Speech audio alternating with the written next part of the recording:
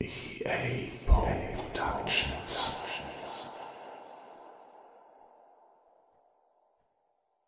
EA Poe Productions liest Jules Verne Reise nach dem Mittelpunkt der Erde 19. Kapitel Auf dem Irrweg Am folgenden Tag, dienstags 30. Juni um 6 Uhr, setzten wir die Reise fort. Wir folgten stets der Lavagalerie, welche in mäßigem Fall abwärts führte, wie die geneigten Flächen, die noch in manchen alten Häusern sich anstelle der Treppen finden. So ging's bis zwölf Uhr siebzehn Minuten, als wir Hans, der stehen geblieben war, einholten.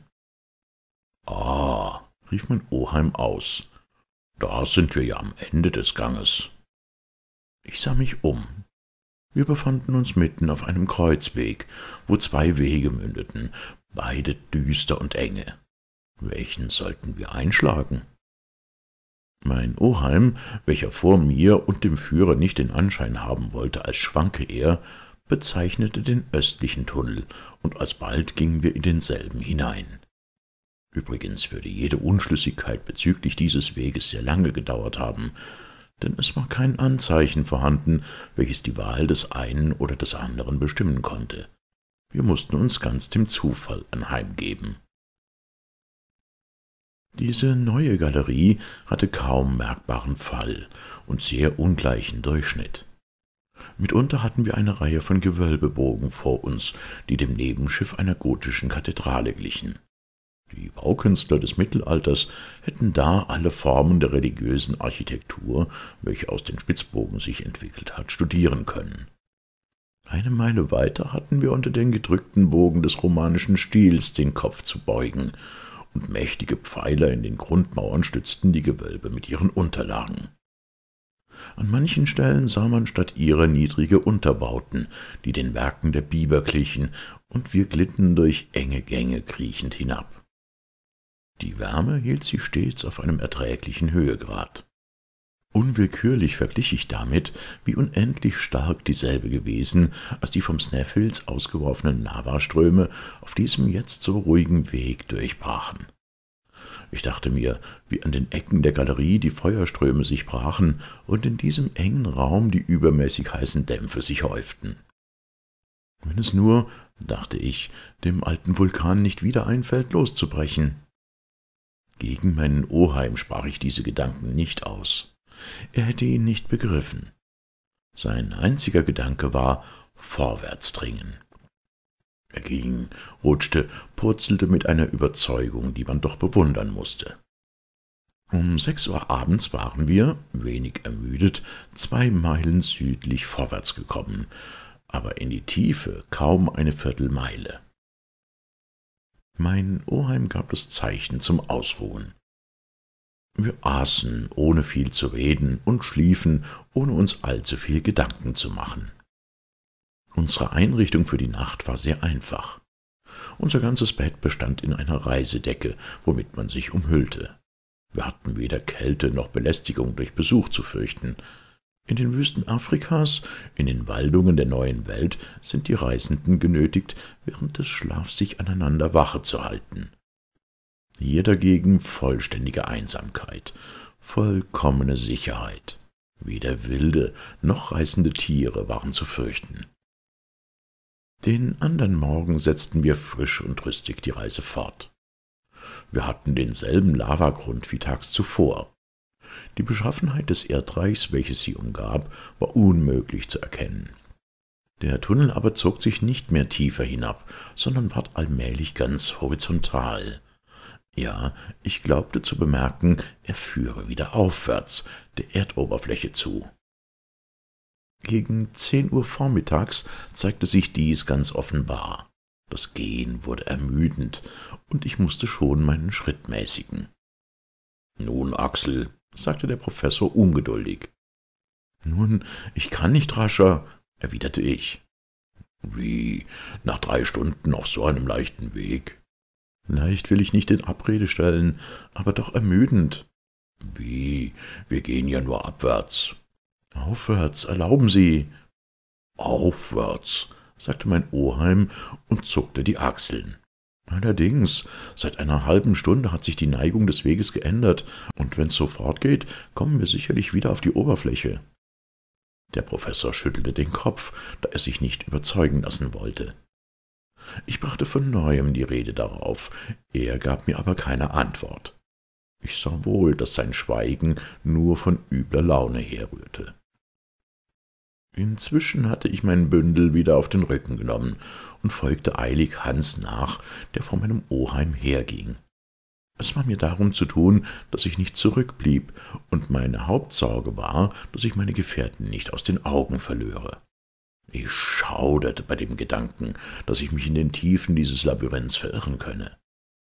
Übrigens, wenn der nun aufwärts führende Weg ermüdender war, so tröstete ich mich darüber mit dem Gedanken, dass uns derselbe der Erdoberfläche näher brachte. Darin lag eine Hoffnung. Jeder Schritt bestätigte es, und ich erquickte mich schon bei dem Gedanken, mein liebes Gretchen wiederzusehen. Zur Mittagszeit gewährten die Wände der Galerie einen anderen Anblick. Ich merkte es an der schwächeren Rückstrahlung des elektrischen Lichtes. Anstelle der Lavaverkleidung trat jetzt das lebendige Gestein. Der Grundstock bestand aus geneigtem, oft vertikal geordneten Schichten. Wir befanden uns mitten in der Übergangsepoche, in der silurischen Periode. Es ist augenscheinlich klar, rief ich aus, der Schiefer, der Kalk und der Sandstein entstanden in der zweiten Epoche der Erdbildung aus dem Niederschlag des Gewässers. Wir kehren jetzt dem Granitkern den Rücken. Wir machen's jetzt wie die Hamburger, welche über Hannover nach Lübeck reisen wollen. Ich hätte meine Beobachtungen für mich behalten sollen. Aber meine Anlage zum Geologen überwog die Klugheit, und Onkel Liedenbrock hörte meine Ausrufungen. Was hast du denn vor? sprach er. Sehen Sie, erwiderte ich und zeigte ihm die abwechselnde Reihe des Sand- und Kalksteins und der ersten Spuren des Schieferbodens.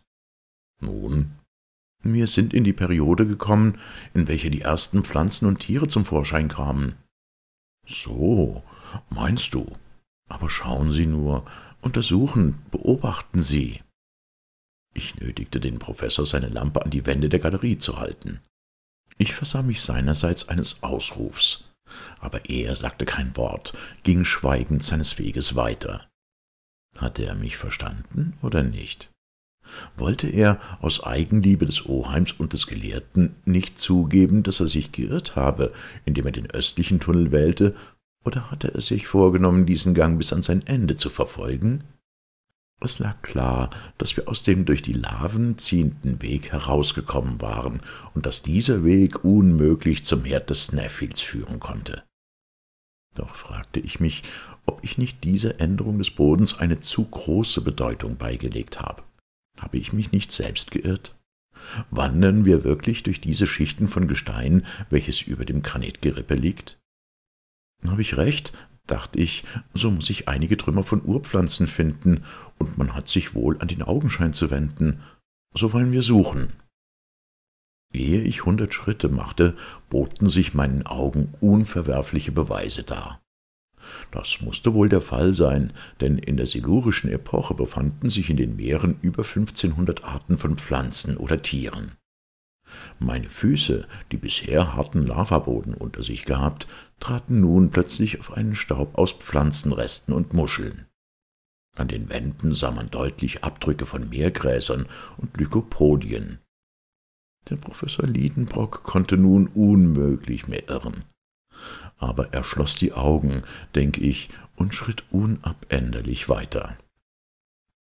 Es war das ein Eigensinn über alle Grenzen. Jetzt hielt ich mich nicht mehr länger zurück. Ich nahm eine vollkommen wohlerhaltene Muschel, die einem Tier angehört hatte, das ungefähr einer jetzigen Assel glich. Darauf ging ich zu meinem Oheim und sagte zu ihm, »Sehen Sie!« »Nun«, erwiderte er ruhig, »es ist eine Muschel eines Tieres von der jetzt verschwundenen Gattung der Trilobiten.